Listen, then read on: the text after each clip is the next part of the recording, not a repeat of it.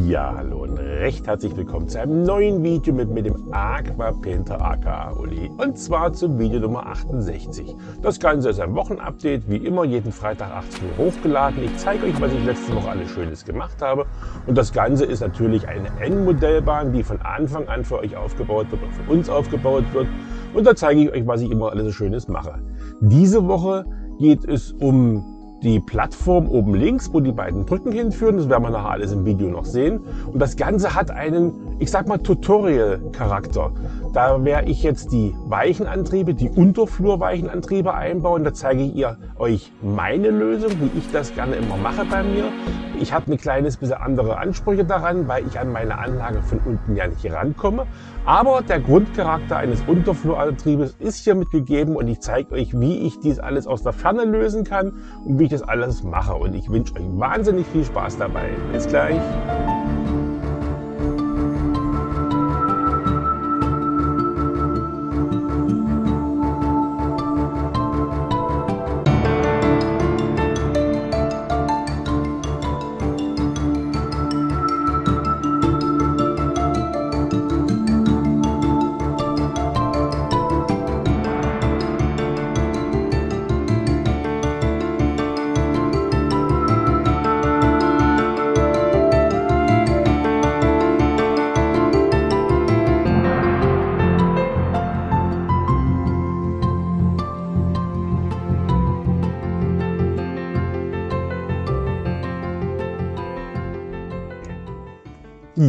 Damit recht herzlich willkommen zurück zum Video. Hier sehen wir, wo wir heute am Werkeln sind. Das ist natürlich die Plattform, die wir auch im Hintergrund jetzt hier gerade sehen.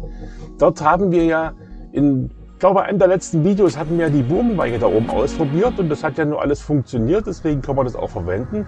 Damals hatte ich zwar den Antrieb schon ab, habe es aber natürlich von Hand hin und her bewegt. Das will ich natürlich später nicht machen. Ich möchte das natürlich von unten mit einem Unterflurantrieb. Hier sehen wir sie übrigens. Die, der eine hier, den hatte ich schon mal benutzt, wo ich meine ähm, Spur Z-Bahn damals äh, aufgebaut hatte.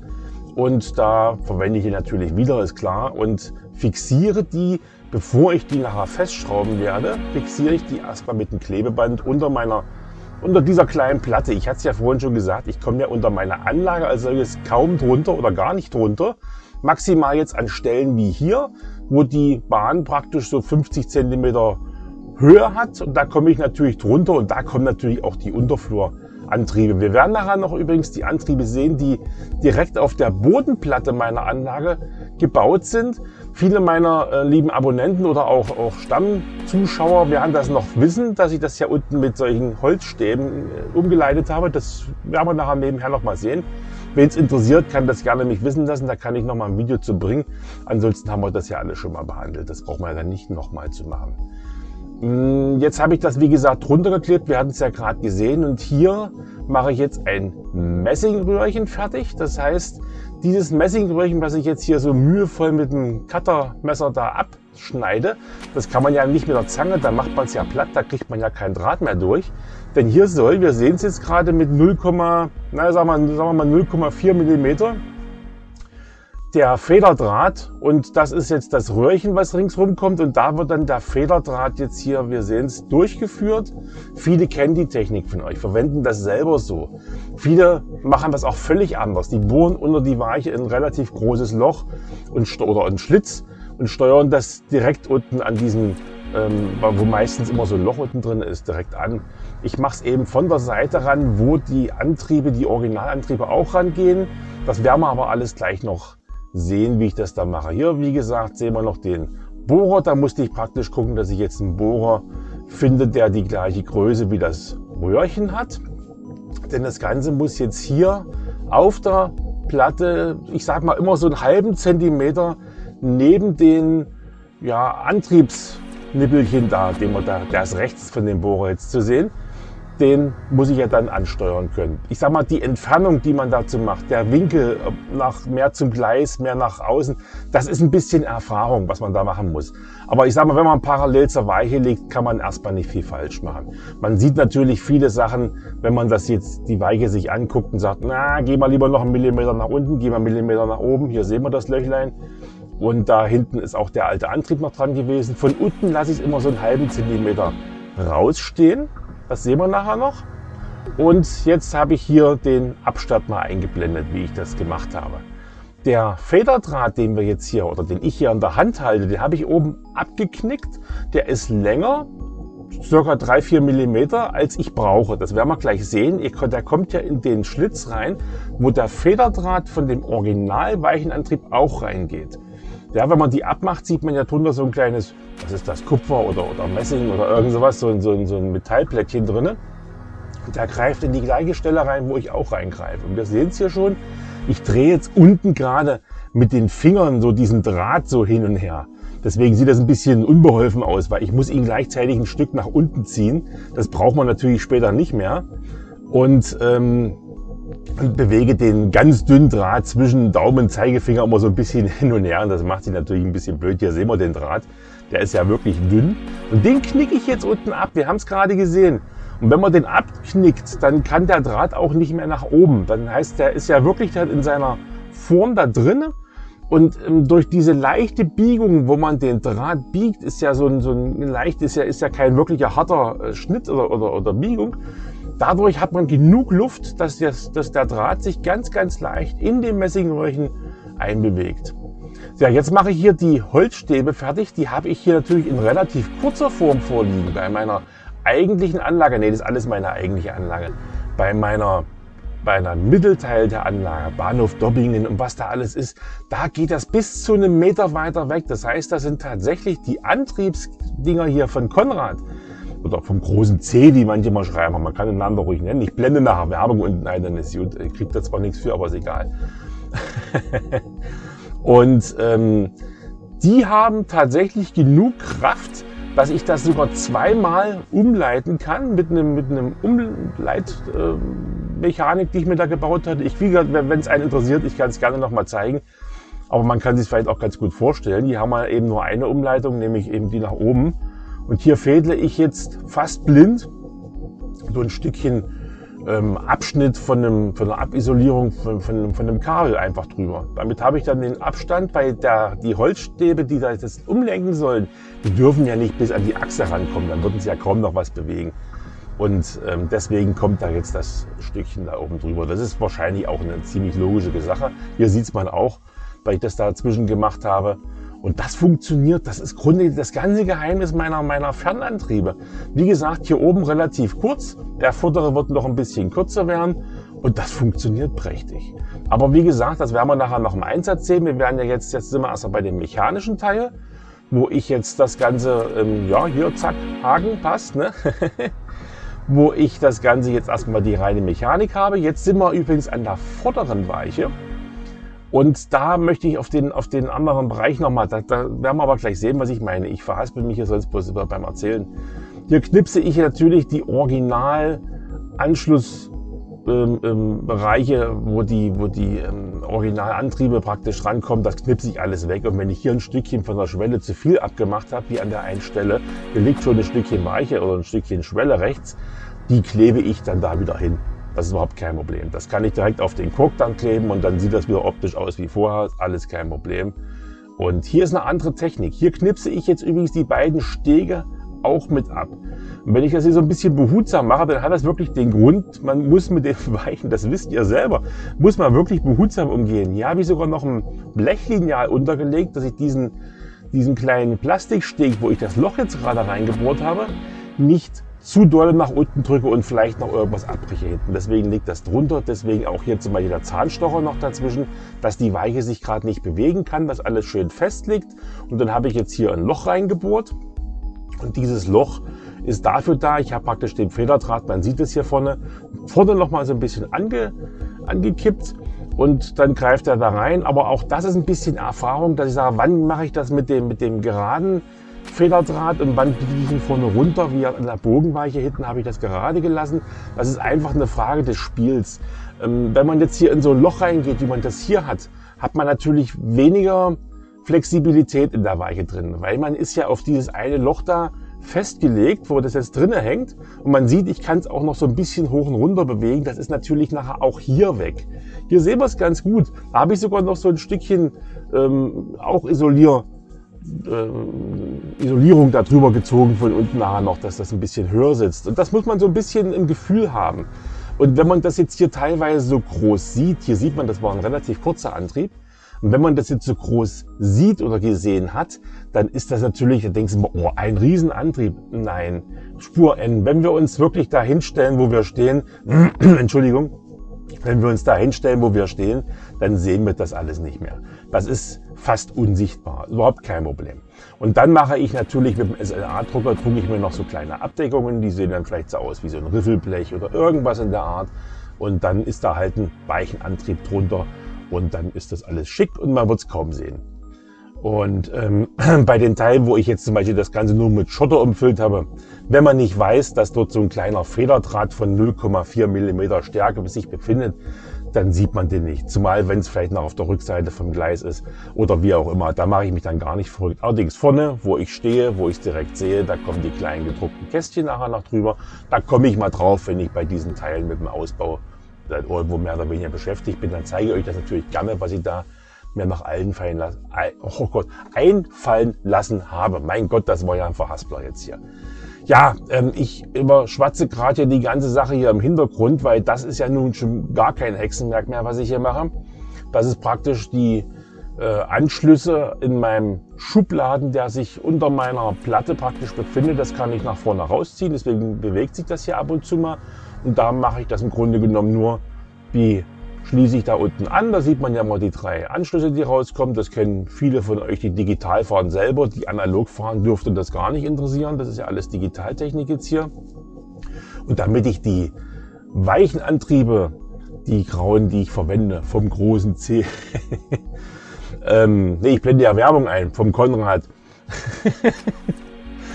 ähm, da brauche ich natürlich jetzt hier die kleinen Platinchen noch. Wir haben gerade gesehen, ich habe die beiden blauen Drähte, die an die Antriebe rankommen, wo man ja einmal in die eine Seite schaltet, einmal an die andere Seite schaltet. Die werden hier beide aufeinander gelegt und der gelbe Draht hat seinen eigenen Anschluss. Wir sehen es gerade. Das heißt mit anderen Worten, wir sehen es ja auch in den Schrauben recht schön. Unten gehen drei Litzen rein, oben gehen zwei Litzen wieder raus. Und da, ja, man muss es nur wissen, dass das so geht. Ich habe es am Anfang auch nicht gewusst gehabt, wo ich das erste Mal die Antriebe verwendet hatte. Da denke ich, oh Gott, das geht ja gar nicht. Warum lässt sich das ja nicht ansteuern? Ja klar, weil das Teilchen gefehlt hat. Die kam auch nochmal 5 Euro extra. Naja, digital ist halt nicht billig. Hier sehen wir es nochmal als Bildchen schön. Und hier schwenkt man auch schon rüber wieder zu unserer Plattform. Da habe ich mittlerweile auch solche Ringbuch äh, da festgeklebt. Und da komme ich dann mit den Kabeln. Wenn das hier noch alles ein bisschen wüst aussieht, das werden wir auch im nächsten Video. Das Video ist übrigens nur die Hälfte dieses Mal. Es kommt noch ein zweites Video, da geht es dann um die Signale, wie ich die mit den gleichen Antrieben auch ansteuern werde.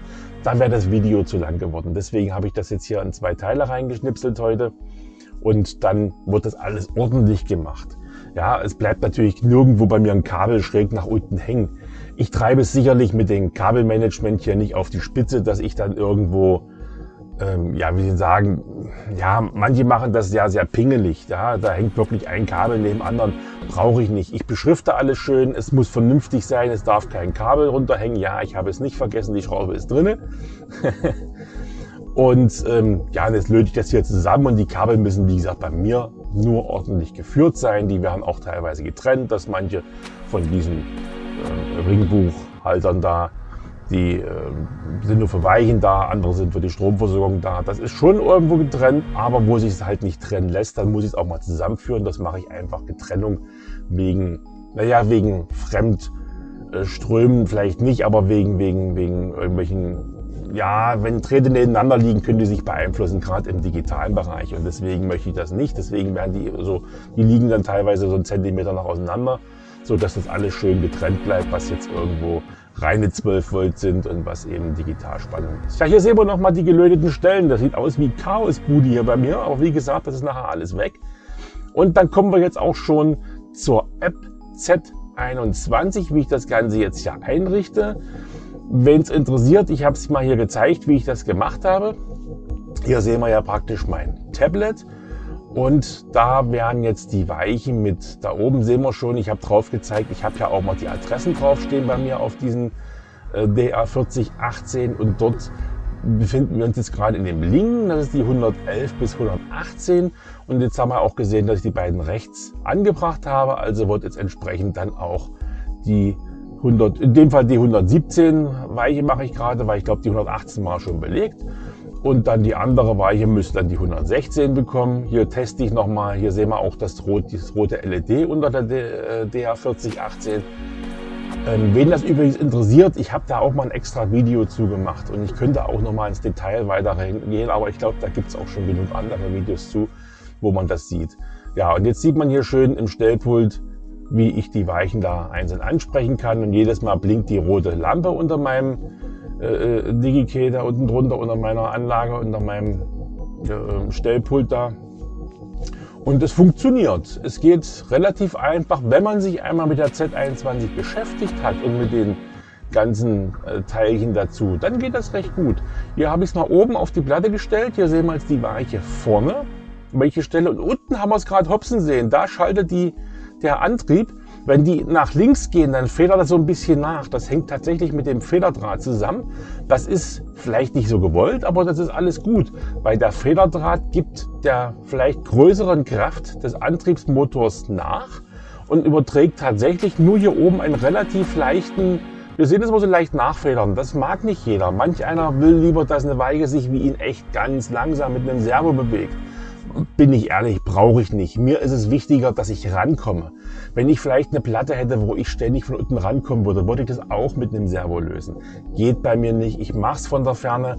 Ich brauche tatsächlich die Lösung, wie ich sie jetzt hier habe. Und ähm, ja, wir sehen auch hier, die Bogenweiche lässt sich auch ganz sauber schalten. Die geht übrigens sauberer, die federt nicht so nach. Das ist der Unterschied zwischen dem, wo ich das Löchlein gebohrt habe und wo ich mit einer geraden Federdrahtstange reingegangen bin. Das ist der Unterschied. Also bei dem einen ist es so ein leichtes Nachfedern, bei dem anderen ist es ein sauberes Schalten. Aber man muss halt seine Gegebenheiten sehen, was will ich, was will ich erreichen und dann muss man eben auch gucken, wie funktioniert es am besten. Ich mache es immer erst mit einem geraden Draht, stelle ich aber fest, er schafft das vielleicht schlecht, weil er hat die beiden parallelen Plastiknippelchen da drin. Ich blende mal noch eine Grafik vielleicht ein. Die ähm, halten den Federdraht dann fest. Also das muss man wirklich probieren, wie man das irgendwo ja, am günstigsten lösen kann. Was wir jetzt im Hintergrund hier sehen, das ist eigentlich schon vom letzten Video vorgegriffen, aber auch von einem, ich glaube, von vorvorigen Video, von der 66, wenn nicht alles täuscht, ist das nachgegriffen. Dort hatte ich ja die schon eingebauten äh, Read-Kontakte gezeigt. Jetzt mache ich jetzt hier noch, wie ich sie einbaue. Das hat einfach den Grund, das hätte ich auch im nächsten Video mit reinbringen können, weil es da nämlich um die Signale und um die Steuerung geht. Und das sind aber die letzten Aufnahmen, die im 2K noch sind. Und ab dem Video 69, ich blende es ja ab und zu mal ein, wird bei mir ja alles im 4K gebracht. Und da kann, ja, der pingelige Uli. Und da kann ich natürlich keine 2K-Aufnahmen in das 4K-Video reinmachen. Das wird nicht funktionieren oder die Qualität leidet enorm drunter oder das ganze Video müsste ich dann auf 2K wieder rendern dann stimmt das nicht, was ich geschrieben habe. Hier sehen wir übrigens, dass ich den Rittkontakt unter das Gleis geschoben habe. Normalerweise mache ich das ja vorher. Da hat der Uli wieder geschlafen. Ja, da war er so aufgeregt mit seiner Bogenweiche. Aber durch den Korkuntergrund ist das ja kein Problem. Das habe ich also mit einem kleinen Schraubendreher so rausgekratzt und dann konnte man die Rittkontakte ganz sauber drunter schieben. Und da sind die Anschlüsse, die Löcher halt unten so an der Seite so dran. Das passt schon irgendwo. Und wenn es eingeschottert wird, ist davon gar nichts mehr zu sehen. Ich male das nachher auch noch schwarz, was ich jetzt hier weiß verspachtelt habe. Und dann ist alles gut, dann ist alles weg und dann sieht man gar nichts mehr. Wozu ich die Read-Kontakte brauche, das möchte ich euch sowieso in einem separaten Video nochmal zeigen, weil ich werde viele Sachen, ich hatte es im letzten Video nach 67 angesprochen, noch ändern bei mir auf der Anlage. Was ich aber ändern will und warum ich das ändern will und wie ich das ändern will, das will ich euch dann natürlich separat in dem Video dann erklären und ja, erläutern, was ich damit meine. Und na, wir gucken mal, was auf uns zukommt. Es geht weiter und weiter und weiter. Mittlerweile bin ich im nächsten Abschnitt sowieso hier schon mit bauen. Ich bin ein bisschen im Vorlauf, das habe ich ja im letzten Video auch schon mal angekündigt. Ich bin also schon einen Zacken weiter, als wir hier sehen. Das hängt einfach damit zusammen, dass ich relativ viel oder schnell vorwärts gekommen bin. Und das nutze ich natürlich aus. Dann habe ich ein bisschen, naja, so ein Videoschnitt dauert ja auch alles für seine Zeit. Alles klar, meine Freunde. Da würde ich sagen, macht schön gut. Bis zum nächsten Mal. Vergesst euer Däumchen nicht, vergesst die lieben Kommentare nicht. Ich freue mich da immer drüber. Und dann sage ich, macht schön gut. Bis zum nächsten Mal. Tschüss.